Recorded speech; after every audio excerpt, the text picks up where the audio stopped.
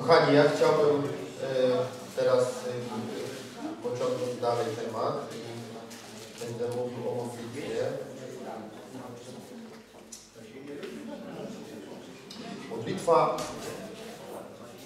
ona słowo określające modlitwę to jest prosechomai. To prosechomai to słowo oznacza być skierowanym na. Słowo nie określa, na kogo człowiek ma być skierowany. Czyli na kim ma skupiać swoją uwagę i w którą stronę ma, e, mm, ma się koncentrować. Proste homai jest sformułowaniem, em, które takie jest, jest bardzo neutralnym sformułowaniem. Proste homai. To tak jak każda z tych rzeczy jest y, neutralna. Neutralny jest ten mikrofon. Można przez ten mikrofon mówić Boże rzeczy i można przez ten mikrofon mówić diabelskie rzeczy. Tak jak instrument każdy, można na nim chwalić Boga, można chwalić diabła.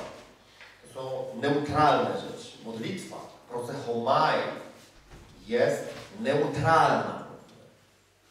Co to oznacza? E, To oznacza, że my musimy zrozumieć, że tu chodzi o modlitwę do Boga. Okazuje się, że wiele rzeczy jest modlitwą. Jest modlitwa do człowieka, na przykład. Na przykład skupienie się na człowieku. Ta główna koncentracja na człowieku, z czego wywodzi się cały system humanizmu. Wiecie, czym jest humanizm? Humanizm ustawia człowieka w centrum wszechświata. Dlatego, dlatego mm, tak naprawdę humanizm to nic innego jak wynik modlitwy do człowieka.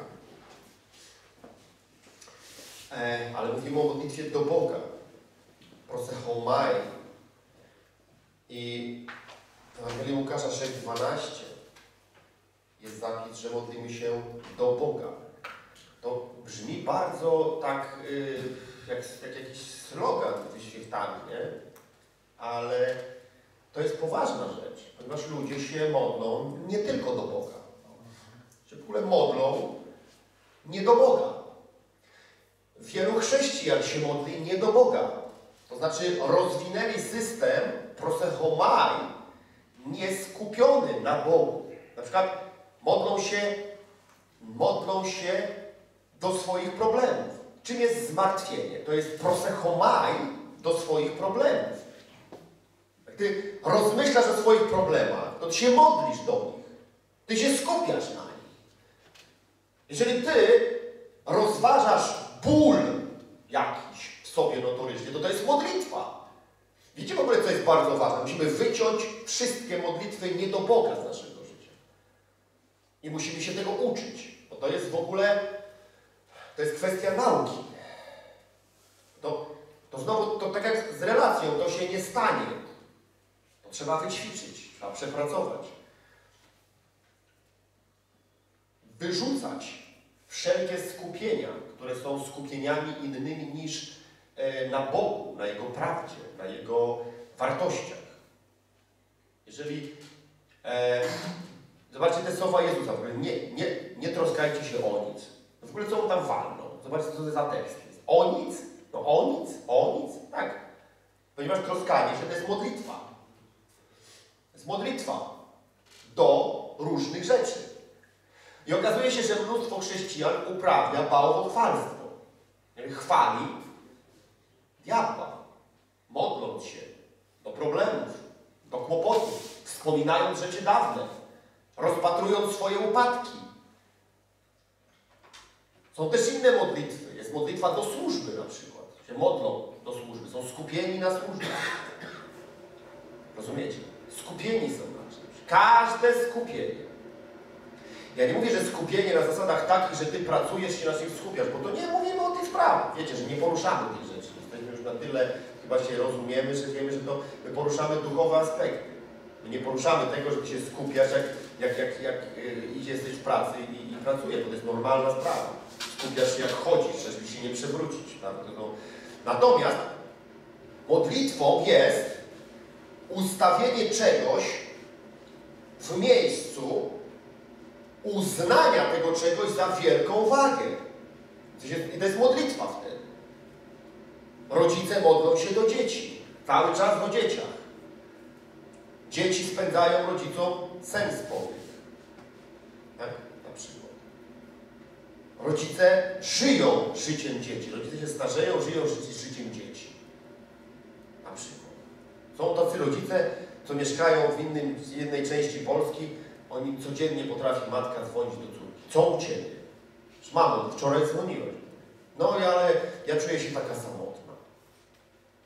Samotna się czujesz, mamo. Rozumiecie? To w ogóle, no nie wiem, no to może zacznij się modlić. To nie będziesz samotna. się skup na czymś, mamo, nie skupiaj się na mnie. Nie jestem Twoim Bogiem, mamo. Jest inny Bóg. Również chcę, żebyśmy też rozumieli jakieś, po, jakieś myślenie o czymś, czy rozważanie czegoś w sposób konstruktywny. To też nie jest złe. Nie ma nic złego w konstruktywnym rozważaniu jakiegoś zjawiska. Problemu nawet jakiegoś, rozłożenie go na części pierwsze, to nie odchodzi. Jeszcze raz mówię, rozpoznajmy, czym jest prosechomai. To jest skierowanie na, skupienie się, stałe skupienie się na czymś, co dla nas jest ważne i w pewnym sensie oddawanie temu czemuś największej uwagi naszego życia. To jest czczenie czegoś. Rozumiecie? Dlatego Jezus mówi, żeby modlić się do Boga. Do Boga. Więcej, On mówi do Ojca.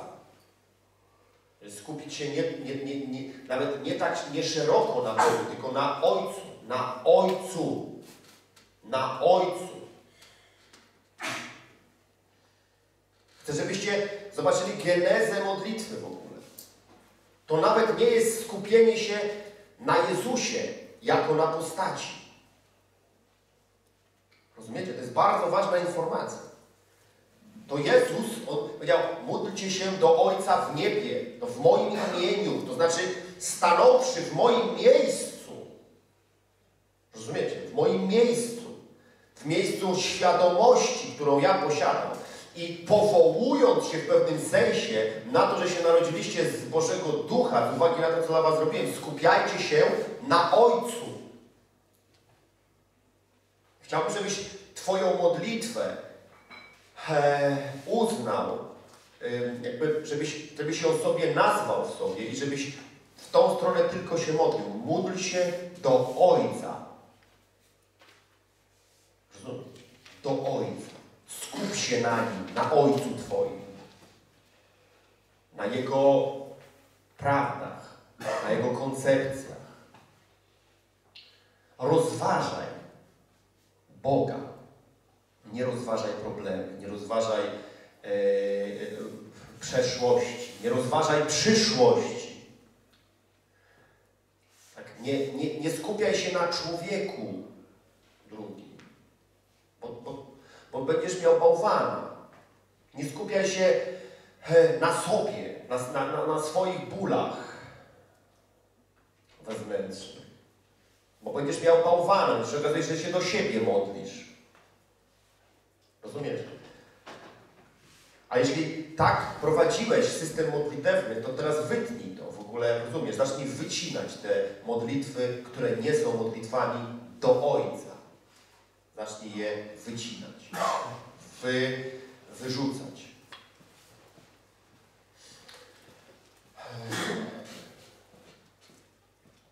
Ewangelia Mateusza, szósty rozdział, szósty werset. Szósty rozdział, szósty werset. Ewangelia Mateusza, szósty rozdział, szósty werset. To jest coś, o czym chcę na tej sesji powiedzieć. Ale ty, gdy się modlisz, czyli proste homaj, wejdź do komory swojej, a zamknąwszy drzwi za sobą, módl się do Ojca swego. który jest w ukryciu, a Ojciec Twój, który widzi w ukryciu, odpłaci Tobie. Jezus podkreśla, jest Ojciec. I czyj Ojciec? To Twój Ojciec. Skup się na Twoim Ojcu. Twój tatuś. To jest modlitwa. Na tatusiu się. Do taty się. Rozumiesz? Do taty. Komora. Co to jest komora? Komora to jest miejsce, w którym Ty sobie zorganizowałeś życie modlitewne. Komora niekoniecznie jest miejscem fizycznym. Bo to niekoniecznie jest miejscem fizycznym. Ono ma pewien wymiar fizyczności. Akurat w tym miejscu, kiedy Jezus tutaj mówi, ponieważ Jezus mówił obrazowo. Wiecie, mój powód, że, że znowu troszkę o tym wspomnę, bo jeszcze tym jakoś tam, jakoś to przeżyłem. Mój pobyt w Izraelu teraz y, też mnie poprowadził do głębokiego do pogłębienia tego zrozumienia Jezusa jako człowieka. I też ja przyglądałem się, co On robił, ten Jezus.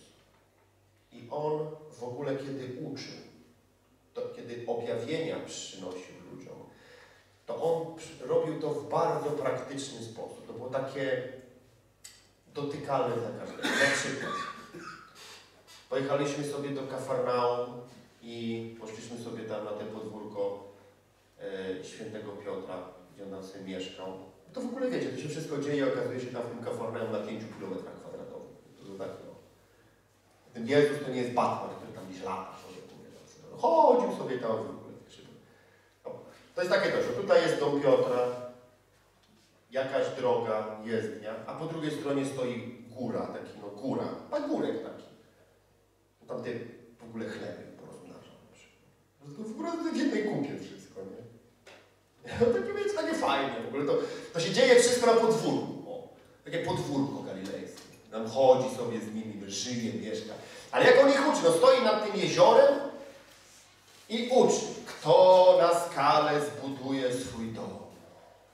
Tak? I teraz co on pokazuje? No dom Piotra zbudowany na takiej skałce. Bo tam ojciec Piotra na takim kawałku skały zbudował sobie dom. Tam drakościu postawili. E, na, na, na, to jest niesamowite, wiecie, on cały czas obrazowo i oni widzieli, patrzyli na to, no Piotr tam mieszkał od urodzenia, wiecie. I on mówi, no bo kto zbuduje na skalę, tego nie przemogą wiatry. Tam takie wielkie, bardzo silne są wiatry od jeziora galilejskiego, wiecie. I woda nie zaleje. Bo ja okazuje że ta woda podchodziła pod ten dom, no ale już tego domu nie zalewała. Że ten Jezus w ogóle, on mówił o tym wszystkim pokazując. To robię bardzo obrazowo. I kiedy mówił o komorze, to też mówi bardzo obrazowo, bo komora, te słowo, które tutaj jest użyte, wejść do komory to był taki spichlerz, takie, taka spiżarnia. To było miejsce, gdzie nie było okien, gdzie było dość ciasno, mm, gdzie stały, stało jedzenie, tam się je przechowywało. Było tam ciemno też, chodziło o to, żeby, żeby to było w jak najciemniejszym, jak najchłodniejszym miejscu, biorąc pod uwagę tamtejszy klimat. I on opisuje, mówi, wejdź do komory swojej, a zamknąwszy drzwi za sobą. Tak? Czyli czym jest komora? To jest coś, co ty musisz sobie zbudować. Nikt ci komory nie zbuduje. Komora to nie, to, to nie jest łazienka, tylko to jest coś, co ty w sobie zbudujesz. Krótko powiedziawszy, ty musisz nauczyć się wyodrębniać czas dla Boga. Ucz się wyodrębniać czas. Pamiętaj, to nie chodzi o to, żebyś zrobił sobie z tego religię. Ale jak ty nie będziesz planował życia modlitewnego, rozumiesz, to ty się poślizgniesz, jak będziesz tylko człowiekiem spontanicznej modlitwy. Modlitwa jest dwufazowa. Jest, jest modlitwa planowana i modlitwa spontaniczna. Rozumiecie? Planowana i spontaniczna. Tak jest w ogóle w relacjach. Są rzeczy planowane i rzeczy spontaniczne. Na przykład w małżeństwach życie seksualne powinno być planowane i spontaniczne, bo, bo jeżeli się nie połączy tych dwóch elementów, to to się rybnie wszystko. Rozumiesz? Jak będziesz tylko będziesz planował życie seksualne, to, to ucieknie Ci w ogóle y, spontaniczność, ucieknie Ci coś, co się tworzy z chwili na chwilę. Jeżeli będziesz tylko liczył na to, że coś się stworzy z chwili na chwilę, no to niestety to, to nie będzie te życie y, adekwatne do Twoich pragnień, do Twoich potrzeb. I dokładnie to samo dzieje się z modlitwą. Modlitwę mamy planowaną i modlitwę mamy spontaniczną, że ja się modlę, jak mnie Bóg pobudzi, tak? Ale, ale ja się też modlę planując modlitwę. Czyli przychodzę do Boga, ale też jestem zawsze otwarty na to, że On przychodzi do mnie. Raz pobudzam Boga ja, raz pobudza Bóg mnie. Tak? Czy słuchaliśmy o relacji, o tym, jak to jest dawanie i branie. To tak to działa. Wejdź do komory swojej. Ty musisz mieć komorę. I zacznij od tego, żeby ją sobie zaplanować. Po prostu. Ja nie powiem Ci kiedy, ja nie powiem Ci ile to ma być e, czasu, ale chodzi tutaj zasadniczo o to, abyś uczył się wyodrębniać czas, gdzie będziesz trenował skupienie na Bogu. Skupienie na Jego rzeczach, gdzie będziesz sobie szedł, prawda? I będziesz skupiał się na Bogu.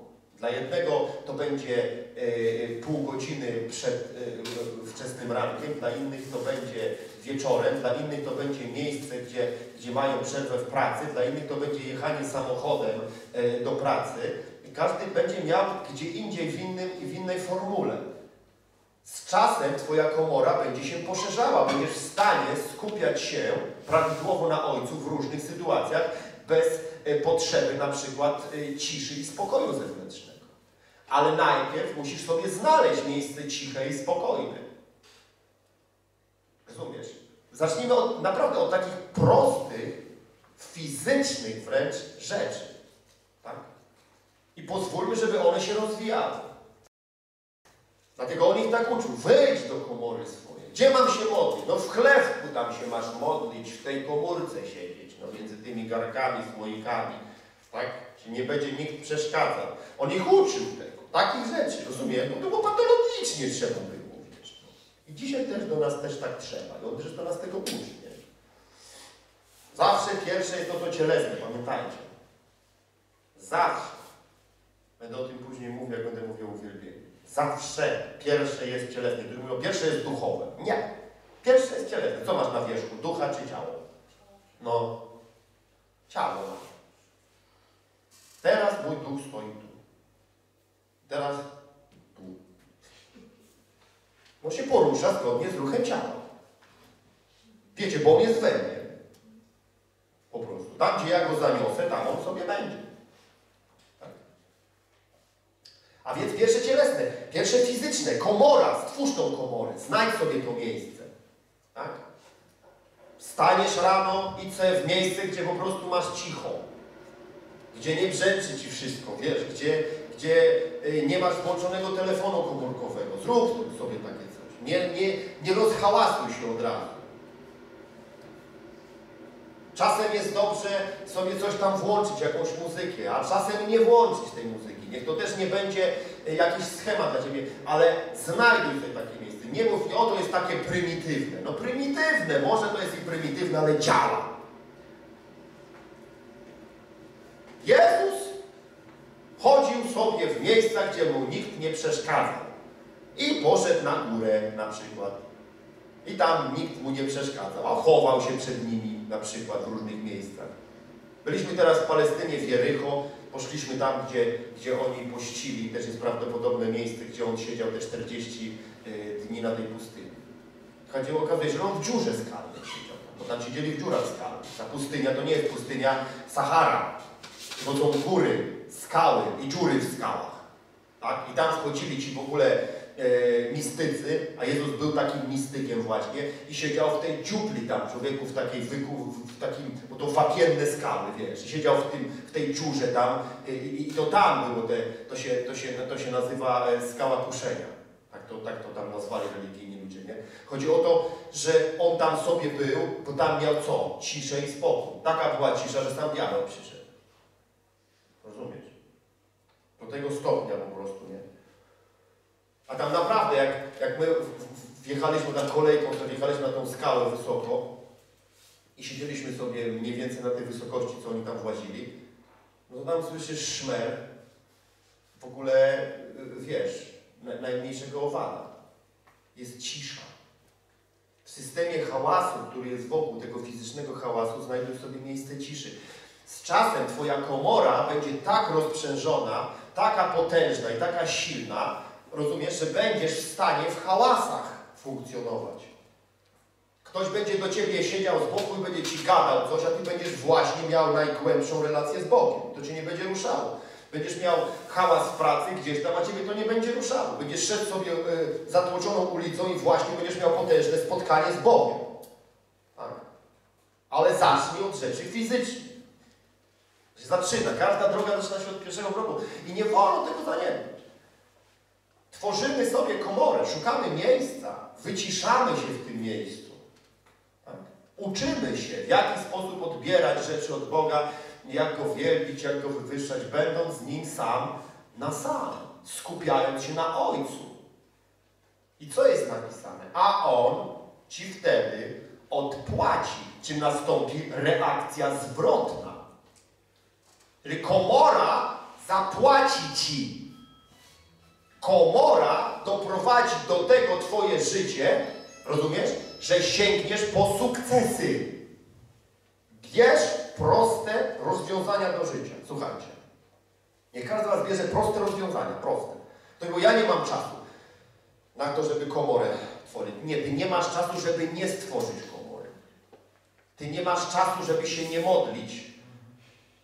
Że znów przywiodę przykład tutaj mojego przyjaciela, który wynajął sobie kiedyś dom i zaprosił mnie do tego domu i mówi zapraszam Cię do mojego nowego domu. Ja pojechałem do tego jego nowego domu i okazało się, że on pierwszą rzecz, co sobie wyszykował w tym domu, to stara piwnica. Taka, że kartofle tam trzyma takie. Bo tam była na, na, na placu, na, na, na podwórku. I on mnie do tej piwnicy zaprosił, zanim on mnie zaprosił do domu. W domu miał pełno kartonów, nieporozkładanych rzeczy, rozumiecie? Ale wyszykował sobie piwnicę. I mówi, oto jest moja komora. Wziął sobie tam, wymalował na ścianie, co tam chciał. Jakieś tam sobie porobił, że mógł tam klęczeć w ogóle, rozumiecie, o co chodzi? I tyle. Bo to jest początek. Początek. Kiedyś też przyjechał do niego inny nasz znajomy i mówi, powiedz mi, jak to się stało, że założyłeś biznes? A on mówi, chodź. I dał mu takie drelichy, takie spodnie robocze i mówi, wkładaj te spodnie robocze. I ten włożył te spodnie robocze i on mówi, chodź. I go za do tej piwnicy go zaprowadził ze sobą. I mówi, klękaj. On miał takie buty, takie czupiaste, takie długie, ładne. To mówi, klękaj. Nie patrz się, buty pobrudzą. Tutaj, mówi, założyłem swój biznes. Tutaj powstał biznes. Komora płaci. Rozumiesz? To to jest początek tak? naszego funkcjonowania. To jest miejsce, gdzie się rozwija prosechomai. Tam się skupiamy na Bogu. Uczymy się tego. Jesteśmy uczniami. Wiecie, nie oczekujcie nigdy czegoś takiego, że spadnie na Was e, doświadczenie i wiedza. Doświadczenia się nabywa, wiedzy się nabywa. Rozumiecie? Nabywa, uczniami jesteśmy. To nie ma tak, że idzie dziecko do szkoły i tam podłączają do głowy jakąś tam, e, wiesz, elektrodę i raptem on dostaje całą wiedzę.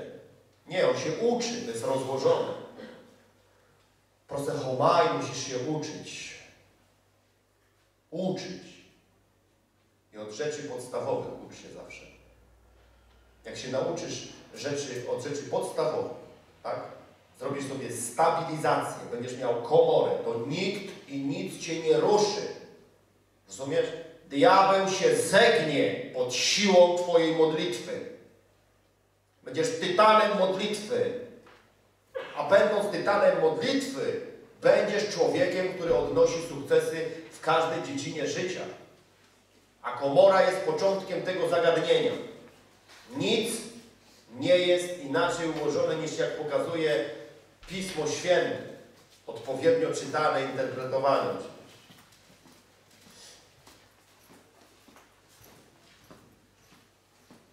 A tam dalej 6-7. Jak się modlisz? Krótko, długo, tak jak Nie, tu nie dotykamy tego tematu. Dlaczego nie dotykamy? Dlatego, że możemy stworzyć religię. Rozumiecie? No nie możemy tego zrobić. Nie możemy. My musimy zobaczyć, co nas dotyczy dzisiaj. Twoja komora będzie w jednym przypadku trwała 5 minut, w innym 5 godzin. Bo o co tu chodzi? To jest, wracamy do poprzedniego nauczania. To jest relacja, która płynie. Nie schematyczny system. Nie schemat, nic, żadnych schematów. Kiedyś e, wśród niemieckich chrześcijan powstała taka grupa, oni twierdzili, że godzinę dziennie trzeba się modlić. Sztundyści na nich że jedną godzinę się oni. Godzina modlitwy. Nie, jaka, jak, dlaczego? Z jakiej przyczyny? Nie ma godzina, dlaczego godzina? A dlaczego? Moglibyśmy w ogóle takie a, a, a dlaczego na przykład nie 24 godziny? A dlaczego nie? Tak? To no, bez ustanku się módlcie. Bez ustanku, to było ile się może? Bez ustanku. Czyli w ogóle żyje w systemie prosechomai i sobie planuje. Patrzę, co się dzieje. W tym dniu tak, w innym inaczej. Ważne, żeby zachować ciągłość. Ważne, żeby był rozwój. Ważne, żeby to przynosiło życie. Rozumiecie? To jest, to jest bardzo ważna sprawa, żeby przynosiło życie. Tak jak jest z dietą. Niektórzy mówią, jaką masz dietę? Ale to zależy, co ja robię. Taką mam dietę, tak, która mi służy. Która mi służy. Jak jest zimniej, to jest ona inna. Jak jest cieplej, to jest inna. Ja po prostu widzę, tak? Nie napiję się, e, jest 20 stopni mrozu, na przykład na dworzu, ja nie, nie najem się pomarańczy. Jak ja się najem pomarańczy, to ja zmarznę. Zmarznę. Jak się kartofli najem, to nie zmarznę. Ale jak będzie 30 na plusie, to jak się najem kartofli, to spuchnę. Rozumiesz? Będę żarł kartofle w lato. Tak? Będę jak kartofel wygląda. To nie, to, to, nie, to nie tak działa. Rozumiesz? To, to są, są, z modlitwą to tak jest właśnie, że ona musi płynąć. Musisz się przyglądać. Tak? Stąd nie mówimy o czasie. Ale mówimy o podziale. Modlitwa, ona ma cztery podstawowe elementy. Po pierwsze to jest uwielbienie. Po trzecie to jest ogłaszanie. Po drugie to jest ogłaszanie. Po trzecie to jest proszenie o swoje sprawy. Zaraz to powyjaśniam. I po czwarte to jest wstawiennictwo, czyli zaraz będę o tym mówił. I teraz w takiej kolejności. Uwielbienie, mniej więcej, zaznaczam, są rzeczy mniej więcej, żebyśmy tylko obraz tego mieli. Uwielbienie to jest 60% modlitwy. Rozumiecie? To tak, my to w sobie musimy zobaczyć. Więcej niż pół, żebyśmy mieli też taki obraz, bo my jesteśmy tak skonstruowani, że jakieś tam musimy mieć takie punkty odniesienia. Ogłaszanie to jest mniej więcej 20%. Proszenie o swoje sprawy to jest mniej więcej 10% i wstawiennictwo to jest 10%. I nie wolno tych rzeczy pomieszać. Ludzie na przykład myślą, że w komorze, modląc się o innych ludzi ciągle, oczywiście jeżeli jesteś wstawiennikiem, to ja nie dotykam tematu na razie tego, że ktoś ma powołanie wstawiennicze. To jest w ogóle inna rzecz. Ja nie mówię w tej chwili o służebnej modlitwie, o modlitwie służby. Ja mówię o podstawowej formule modlitewnej. Ludzie na przykład myślą, że się, teraz będziemy się wstawiać, będę się wstawiał i, i, i, i nie, nie, nie, nie. Inni myślą, że modlitwa polega na tym, że ja Bogu przynoszę wszystkie moje potrzeby i to jest główny temat. Bóg się musi dowiedzieć o moich potrzebach. Bóg wie o swoich potrzebach. Bóg to nie jest supermarket, że przynosisz tam listę i tam mam listę taką. Ważę, mam taką wprawę, to mnie się wali, to mnie się wali, tak mnie boli. Ciebie zmiłuj się nade mną, pomóż mi o. Modlitwa. Może po, pomodlić się proszę. To kretyństwo jest. Uwielbienie. To jest podstawowa rzecz. Podstawowa rzecz. Bo jeżeli my mówimy o formułach adoracyjnych, jeżeli my mówimy o tym, że e, tu budujemy relacje głębokie, intymne, to uwielbienie właśnie tym jest. Ogłaszanie to nic innego, jak powtarzanie tego, co powiedział Bóg. I to jest jakby ten, to drugie miejsce modlitwie, że Ty powiedziałeś, to Ty powiedziałeś, ja teraz to mówię. Musicie znać siłę ogłaszania. Moc ogłaszanego słowa jest Twoim przyjacielem. Nie umrę, ale będę żył i opowiadał, będę dzieła Pana. To mówi, jaki jest sposób na długowieczność? Taki, między innymi. Tak. W ranach i sińcach Jezusa jest moje uzdrowienie. Bóg jest moją mocą. Pan jest moją siłą. To jest ogłaszanie. Ale stanowi to około tamtych 20%. Proszenie, to też kwestia proszenia, żebyście też rozumieli o co chodzi z proszeniem. To nie jest kwestia, że my błagamy Boga, tak? tylko że my przynosimy Mu jakąś rzecz. Ale to są yy, i w wierze, tak? Odbieramy, że już to mamy, no to o tych rzeczach już nie, nie, nie będę przypominał. Chodzi o to, że to, to jest te proszenie, bo to tak się nazywa. To nie jest błaganie po prostu pod tytułem spraw to i tak dalej. No i wstawiennictwo. Wstawiennictwo też nie jest czymś, co wielu ludzi myśli, czyli wstawianiem się za ludźmi do Boga. To nie jest wstawiennictwo. Bo to Jezus zrobił.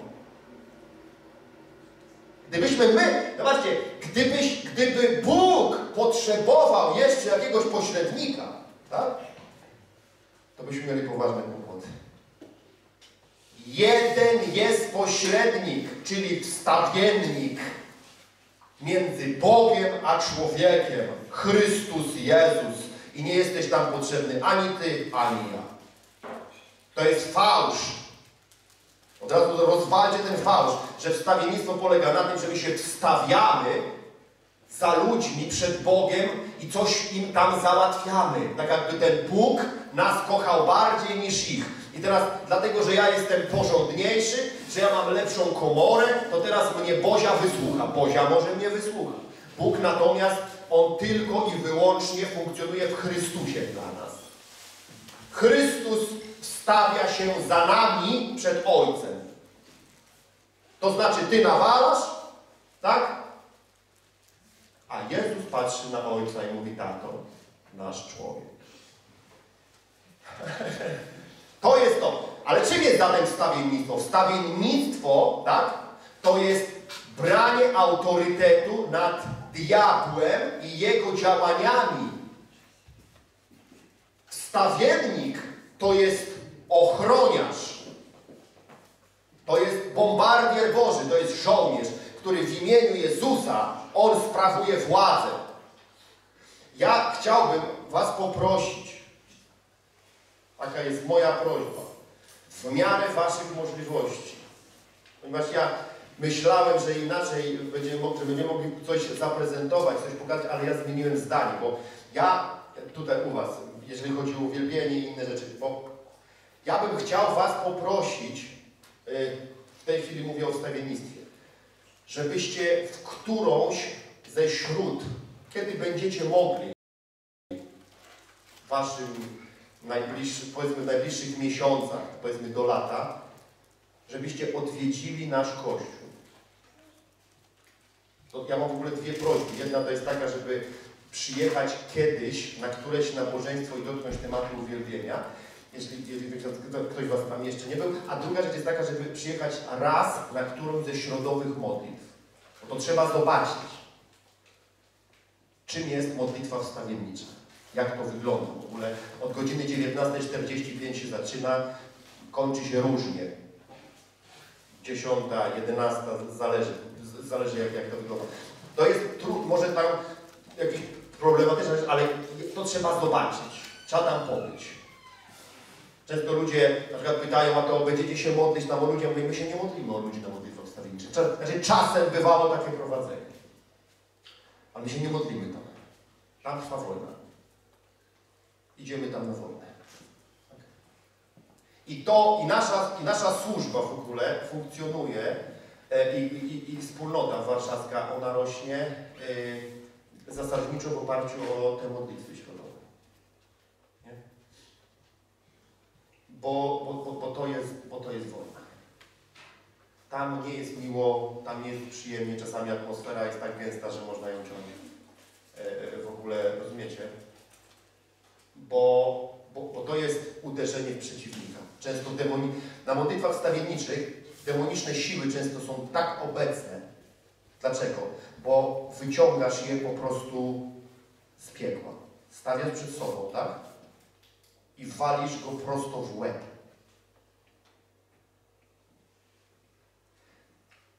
Co wam powiem o diable?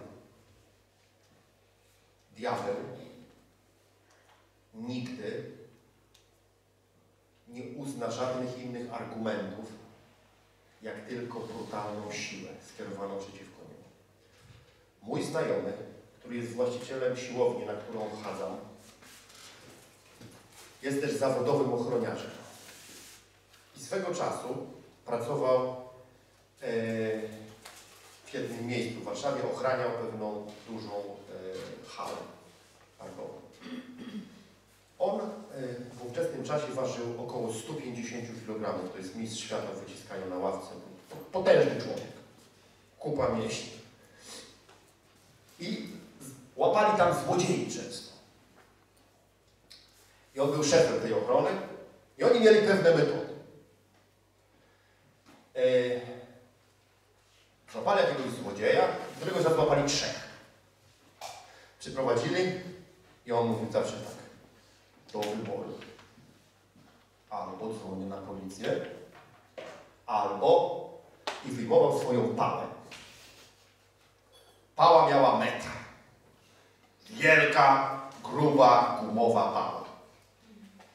I on mówił tak, albo policja, albo po razie. Co wybieracie? Złodziej wybierał o razie. Kładź się. Kazał mi się kłaść na biurku swoim. Takie ręce, taka pała. Jak przyryczną, to od barku po uda. On zawsze mówił, już nigdy nic nie. Tam się tylko jeden złodziej trafiał raz u nas. On już nigdy do nas nie przychodził kraść. Diabła odepchnie tylko brutalna siła. Rozumiecie? Tylko brutalna siła. Dlatego tym jest stawiennictwo. To jest pokazanie diabłu, tak? Że ja w miejsce Chrystusa poselstwo sprawuję, mendo społeczna. O, to jest stawiennictwo. I ono też stanowi mniej więcej 10% modlitwy. Mówimy o tym fundamentalnym temacie komory. No i cóż dalej? Słuchanie Boga. Bo ja idąc w modlitwę, tak? Ja idę po to, by mówić i po to, by słuchać. Dlatego miej ze sobą zawsze notatnik. Miejcie notatniki modlitewne. Piszcie, co do Was mówi Bóg. Po prostu. Ja zawsze do tego zachęcam ludzi. Miejcie swoje notatniki. To są Wasze rzeczy. Jak jeszcze masz prorocze sny, w ogóle masz dużo snów, to te już go miej zawsze przy swoim łóżku, niech on leży. Się obudzisz w nocy, proszę Ciebie telefonem przyświecisz, napiszesz. Rano się dowiesz, co się stało.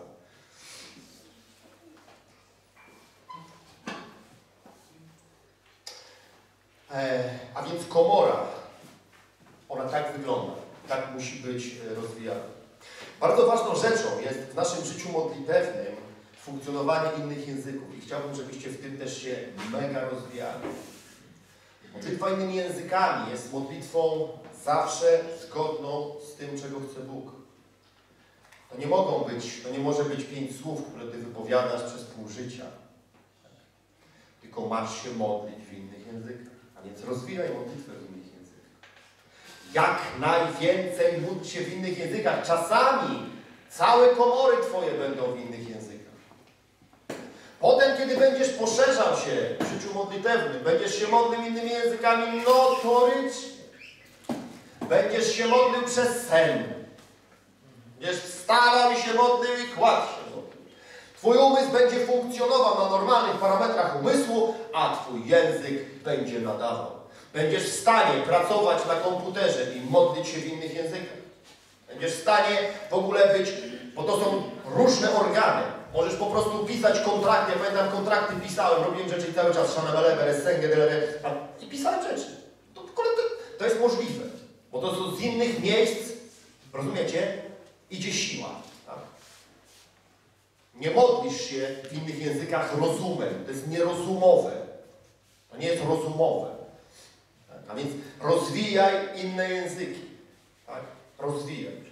Kiedy Was będę też uczył na temat darów duchowych, e, to będę poszerzał temat innych języków, jak i tego, żeby przede wszystkim trenować wykładanie języków na swoich własnych językach. No. Wykładaj własne języki najpierw. Zapisuj, co Ty tam mówisz, żebyś wiedział też, nie? Ucz się, jak, jak, jak z tym postępować. Natomiast inne języki są mega, mega, mega ważnymi rzeczami w modlitwie. Tak? A więc mamy komorę, tak? I mamy tą bardzo ważną informację o innych językach. Bo ja Wam pokazuję jakby na razie całokształt w ogóle tematu, tematu modlitwowego. Jak w tym się mamy poruszać przez cały czas. Bo to jest cykliczne, to musi być cykliczność. Jest jeszcze taka rzecz, bardzo ciekawa, moim zdaniem, e, jak westchnienia modlitewne, tak zwane telegramy do nieba. E, a jest taki fragment w Piśmie Świętym mówiący, że Duch Święty wstawia się za nami w niewysłowionych westchnieniach i wielu ludzi myśli, że to chodzi o inne języki. To nie są inne języki. E, by czujność nasza, czujność duchowa, ona powoduje, że jesteśmy w stałej łączności z Bogiem i przychodzą, jakby przechodzą przez nas różnorakie informacje i niekoniecznie muszą być wypowiedziane. Ty je jakby posyłasz, Ty wzdychasz. Jedno Twoje westchnienie może uratować czyjeś życie. Jedno Twoje westchnienie może zmienić okoliczności. Ucz się. Kiedy przychodzi myśl Boża, poślij ją. Rozumiesz? Ucz się wysyłania takich telegramów. Nie? Panie, Ty wiesz. Rozumiesz? Niech to płynie. Niech to płynie. Te rzeczy wypełniają całe prosechomaj. Nie ma tutaj gdzie szpilki. Albo funkcjonujesz w planowanej komorze, albo w spontanicznej modlitwie, cały czas. Albo są to języki, albo uwielbiasz Boga, albo proklamujesz Słowo, tak? albo przynosisz coś Bogu, albo stawiasz się, albo go słuchasz. Prosechomai cały czas. Tam nie ma... Rozumiesz?